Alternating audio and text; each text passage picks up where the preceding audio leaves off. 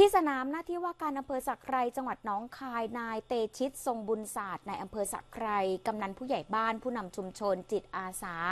และประชาชนชาวอำเภอสักไครก็ได้ออกมาร่วมแรงร่วมใจกันเร่งเตรียมการจัดงานมหกรรมแสงสีเสียงบุญเบิกฟ้า บูชาพระธาตุรวงข้าวเจดีสีพระแม่โพศพและของดีจังหวัดหนองคาย ประจำปี 2563 63 ที่จะมีขึ้นในวันที่ 26 มกราคมถึง 3 กุมภาพันธ์นี้นะคะ โดยมีการเร่งจักสารหุ่นไม้ไผ่ยักษ์จำนวน 9 ตัว เพื่อนำมาจัดแสดงในงานให้แล้วเสร็จก่อนวันที่ 17 มกราคมนี้ค่ะในอำเภอสักไครบอกว่า ตอนนี้ในส่วนของตัวพระธาตุรวงข้าวที่ถือเป็นไฮไลท์ของงาน ที่มีความกว้าง 7 เมตร สูง 32 เมตร ที่คุณผู้ชมเห็นอยู่นะคะ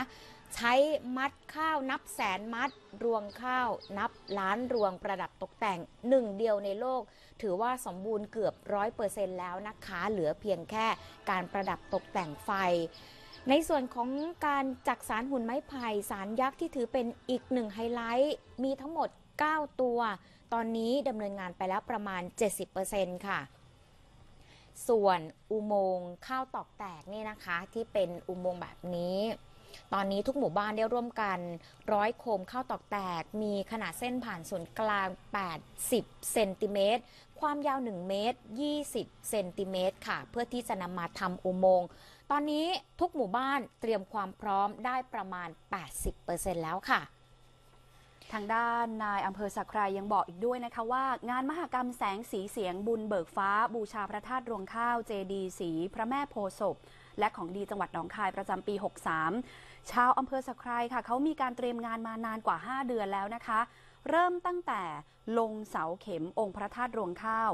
การลงแขกดำนา การลงแขกหว่านปุ๋ย การลงแขกเกี่ยวข้าว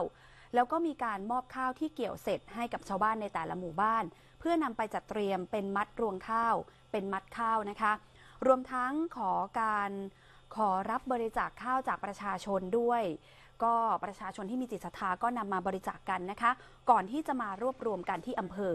แล้วก็ร่วมกันนำมัดข้าวขึ้นไปประดับตกแต่งที่องค์พระธาตุรวงข้าว ซึ่งแรงงานที่มาร่วมกันเตรียมงาน แล้วก็สร้างพระธาตุรวงข้าว ก็เป็นกำนันผู้ใหญ่บ้าน เป็นผู้นำชุมชนแล้วก็จิตอาสา รวมไปถึงประชาชนในพื้นที่นะคะ เขาก็ออกมาช่วยการเตรียมงานไม่ต่ำไม่ต่ำกว่าวันละ 100 คนค่ะสำหรับงานมหกรรมแสงสีเสียงบุญเบิกฟ้า บูชาพระธาตุรวงข้าวเจดี สีพระแม่โพศพและของดีจังหวัดหนองคาย ประจำปี 2563 ที่จะมีขึ้น ในวันที่ 26 มกราคมถึง 3 กุมภาพันธ์นี้ ในส่วนการจัดแสดงก็ยังจะตั้ง ให้ชมต่อไปจนถึง